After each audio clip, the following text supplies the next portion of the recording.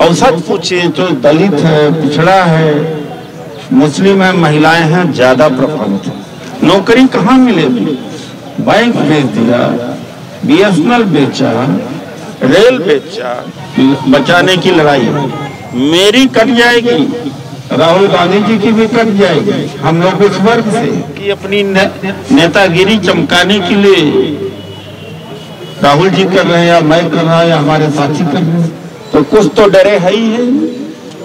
आप जितना ज़्यादा सड़कों पर निकलोगे, उतना ही आपकी जीत होगी।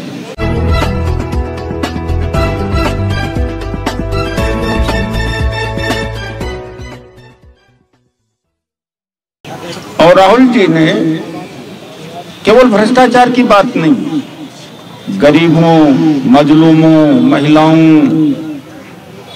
के लिए हमेशा आवाज़ उठाई है, जो 4000 किलोमीटर चले बेरोजगारी, महँगाई के खिलाफ देश में नफरत जो फैल गई है, उसको, उसके खिलाफ किया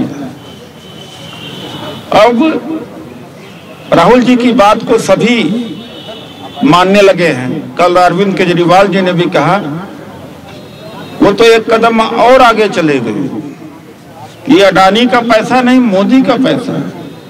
हालाँकि अडानी और मोदी में कोई फ़र्क नहीं वही काला धन का दुरुपयोग हो रहा पूरे देश में चुनाव जीत रहे हैं। वो काले धन के ऊपर राहुल जी ने हमला बोल दिया। तो ये लोग उतर आए। आज लोकतंत्र बचाने की बात है। दोस्तों, यह नहीं कि मैं कांग्रेस का हूँ। या हमारे चेयरमैन विनोद पवार जी इस दिल्ली के चेयरमैन हैं। आप जरा सोचो, जब से मोदी आए हैं, कहीं नौकरी है? रात दिन नफरत, महँगाई कितनी बढ़ी है? ये सामने दिखता नहीं, लेकिन हिंदू मुस्लिम की आड़ में बहुत लोग अभी भी भ्रमित हैं। और सच पूछिए जो दलित है, पिछड़ा है मुस्लिम है, महिलाएँ हैं, ज़्यादा प्रभावित है। नौकरी कहाँ मिलेगी बैंक बेच दिया बीएसएनएल बेचा, रेल बेचा, बंदरगाह बेचा, जहाजें बेच दी, कोयला बेच दिया, कुछ छोड़ा नहीं जा रहा है। और देश की जो को रोज़गार देने वाला एमएसपी होती है उसकी कमर तोड़ते हैं ये दर्द राहुल जी को सीने में है। हमारी लड़ाई लड़ रहे हैं, हमारे लिए ये सौभाग्य की बात है। आज जब आप जाए यहाँ से, लौट के फिर कहना कि चलो एक बड़ा और धरना करते हैं। एक और बड़ा सत्याग्रह करते हैं। लोकतंत्र की बचाने की लड़ाई मेरी कट जाएगी। राहुल गांधी जी की भी कट जाएगी। हम लोग उस वर्ग से। यानी खाने पीने की कमी तो नहीं है। लेकिन आप में से ज़्यादातर लोग प्रभावित होंगे। देश की जनता मरेगी आवाज़ दबाई जाएगी। तो यह मत सोचना कि अपनी ने, नेतागिरी चमकाने के लिए राहुल जी कर रहे हैं या मैं कर रहा या हमारे साथी कर रहे हैं? ये वास्तव में हमारे दिल की एक बात है। बड़े मुश्किल से आज़ादी मिली है। बड़े मुश्किल से आज़ादी मिली है।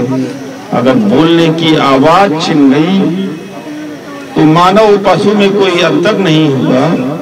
पेट पालने के लिए हम नहीं बने हमारी एक आज़ादी है हमारी एक अभिव्यक्ति है। राहुल गांधी जी जैसा एक और मामला मोहम्मद फैजल लक्षद्वीप पे एमपी का है। उन, उनको सजा मिली उन्होंने स्टे कराया लेकिन फिर भी लोकसभा स्पीकर ने उनको बर्खास्त कर दिया। आज अपने आप उनको बहाल कर दिया। तो कुछ तो डरे है ही है। आप जितना ज़्यादा सड़कों पर निकलोगे, उतना ही आपकी जीत होगी। और सप्ताह में एक दिन आधा दिन निकाल देना, दिन में घंटे, आधा घंटे निकाल देने से आपके रोज़गार में, आपके आराम में आपके घर पर कोई फ़र्क नहीं पड़ेगा, लेकिन देश को बचा सकते तो मैं इन्हीं शब्दों के साथ, मीडिया के साथियों को बात करते हुए विराम करूँगा। कोई सवाल होगा, मैं जवाब दूँगा। और इसके बाद एक दो स्पीकर अगर बच गए हैं, अभी डॉक्टर ओम सुधा जी आए हैं, उनका ओजस्वी भाषण के बाद इसका समापन हम कर देंगे। क्योंकि हम तैयारी मार्च के तरफ़ से कर, मार्च करने के लिए आए थे। सत्याग्रह तो अचानक हमने बदला। उस लिहाज से हमें दो बजे तक, डेढ़ बजे तक ही चला सकते हैं। तो धन्यवाद, कोई सवाल है? सर, एक सवाल मेरा। लोकतांत्रिक तरीके से चुना हुआ एक सांसद, लोकप्रिय सांसद कांग्रेस का। अलोकतांत्रिक तरीके से सस्पेंड कर दिया जाता है इस मुद्दे पर। यह संवैधानिक मुद्दा है। विपक्ष कितना आपके साथ खड़ा है? विपक्ष खड़ा ही खड़ा है।